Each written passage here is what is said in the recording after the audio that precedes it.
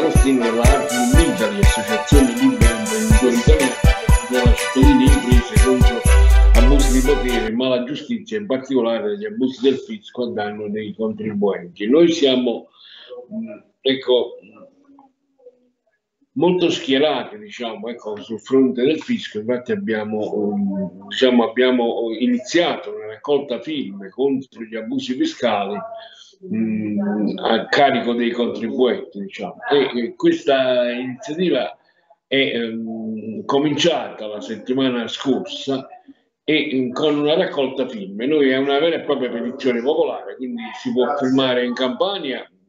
andando presso i gazebo oppure presso diciamo, le, le, mm, come dire, le, mm,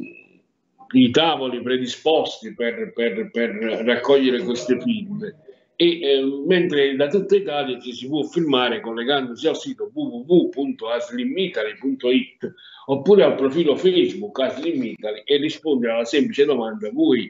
la pace fiscale è un fisco più equo. Quindi noi poiché queste firme diciamo, andranno all'attenzione del nuovo ministro che sarà incaricato, diciamo, perché venerdì ci sarà il conferimento dell'incarico a Giorgia Meloni da parte del Presidente della Repubblica, quindi i tempi tecnici per mm, espletare diciamo, tutte le formalità e nominare, quindi siamo nell'imminenza dell'inizio diciamo, della, delle, del, dell'incarico, del nuovo incarico diciamo, al nuovo governo. Il nuovo governo ha tanto da fare ha diciamo veramente un compito in mano perché c'è il problema del fisco in primis a cui noi stiamo contribuendo con questa raccolta firme per addivenire a una pace fiscale e con l'applicazione di una flat tax ovviamente noi diciamo al 15% però sarà oggetto di studio da parte dei, dei, dei, degli esperti, dei tecnici del Ministero delle Finanze per verificare ecco, la, per, per, stabilire quale percentuale di flat tax va applicata a quante a, noi chiediamo a, a, quante più fasce reddituali possibili per allargare diciamo l'equità fiscale il più possibile che rende il fisco più equo un po' per tutte le fasce reddituali. Poi abbiamo noi siamo a favore del taglio del cuneo fiscale per le imprese dell'eliminazione dell'IRAP e del potenziamento del fondo di salvaguardia, diciamo per il sostegno al, al sistema imprenditoriale, con diciamo, erogando, tornando a erogare finanziamenti, sbloccando ecco, di nuovo i finanziamenti a favore delle piccole e medie imprese da parte delle banche, cioè non,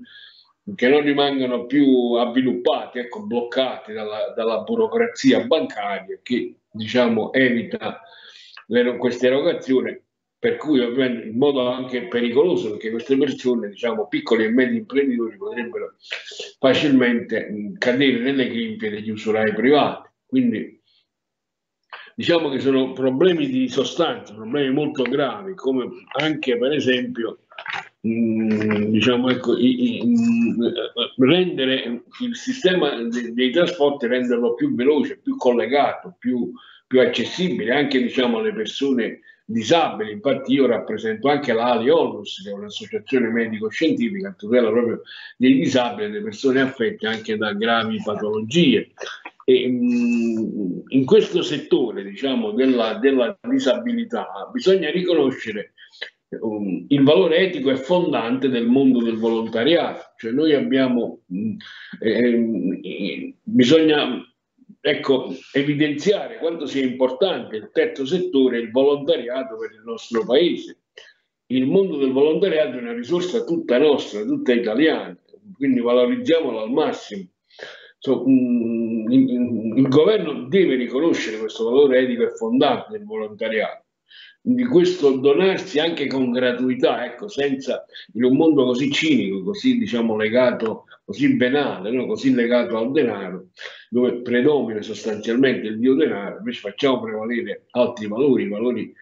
della persona, del rispetto delle persone, la riforma poi del terzo settore è anche molto importante, altre riforme, per riconoscere all'interno del nostro paese la presenza di milioni di persone che si dedicano agli altri cioè, questa veramente è una, è, una, è una, grande risorsa per il nostro paese. Quindi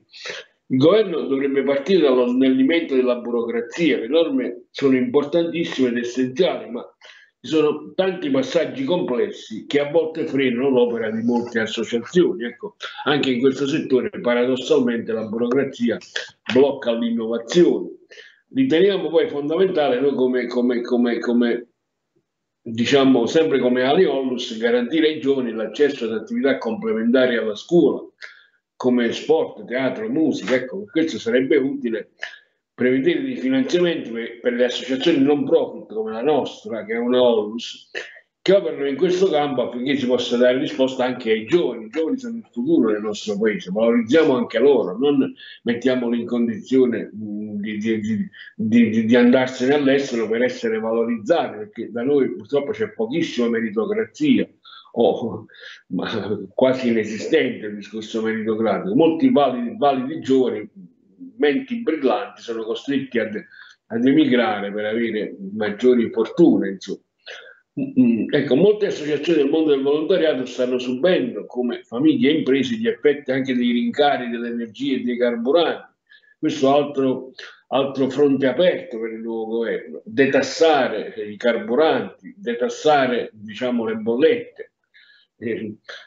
tutte le organizzazioni non profit che hanno delle strutture sono in difficoltà ecco, nel provvedere al riscaldamento dei locali per garantire dei trasporti, ad esempio chi trasporta disabili. Questo mette a rischio la tenuta di questa, della loro presenza sul territorio, ovviamente, e sarebbe importante, come per i cittadini, prevedere per le associazioni del volontariato dei bonus per agevolarli loro, nello svolgimento della loro attività. il governo però deve agire anche sul fenomeno speculativo e non solo a livello italiano ma anche a livello europeo. Cioè, ovviamente tutti possiamo metterci in gioco in un'ottica di risparmio. Questa crisi non è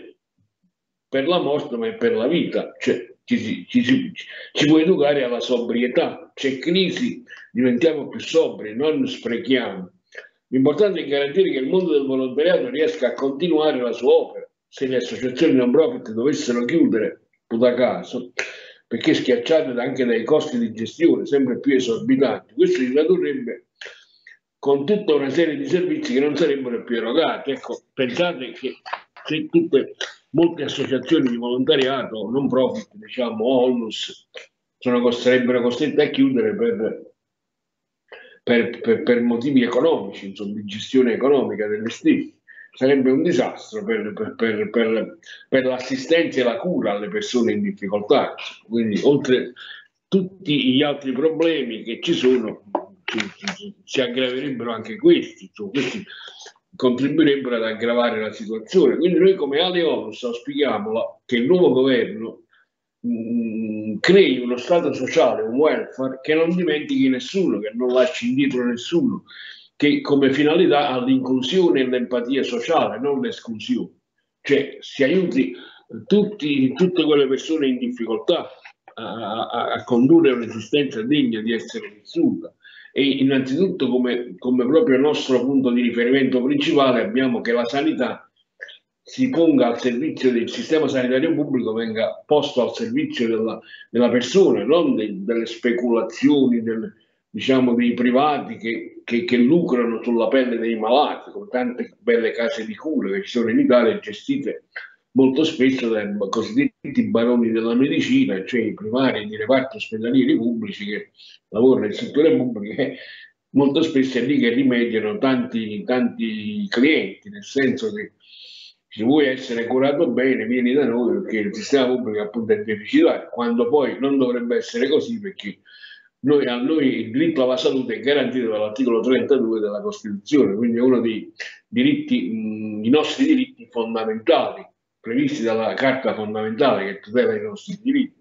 E anche questo diciamo, è disatteso, è violato quotidianamente, sempre a favore diciamo, di discorsi speculativi. Per cui, ecco, noi come ASLIM Italy, Associazione Liberi Imprenditori Italiani, come diciamo argomento principale, come problematica principale, speriamo che il nuovo governo attui, applichi, arrivi, arrivi diciamo, contribuisca all'applicazione di un fisco più equo e, e quindi attui un nuovo patto fiscale per l'Italia. Uh, diciamo che, che, che, che, cambi proprio i rapporti tra, tra, tra, tra, lo Stato e i contribuenti, ecco che diciamo che si instauri un rapporto di fiducia e di riequilibrio dei rapporti tra cittadini e Stato. Adesso c'è molto rancore, c'è molta distanza, c'è molto distacco, la burocrazia contribuisce proprio in modo notevolissimo a questo, cioè la causa principale del distacco è la burocrazia